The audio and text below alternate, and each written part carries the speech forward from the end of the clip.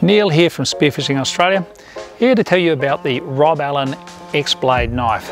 The X-Blade knife is a very popular knife for spearfishing, exceptionally low profile in what we call a pancake type scabbard. I tend to prefer wearing it on my arm where you need to actually rotate the straps around and get somebody to do that. A lot of people wear it on the inside of the leg.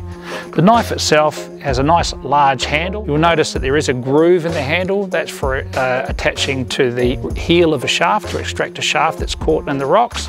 The blade is a very heavy duty blade, so perfect for dispatching or killing larger uh, fish. Quite thick through the actual blade itself.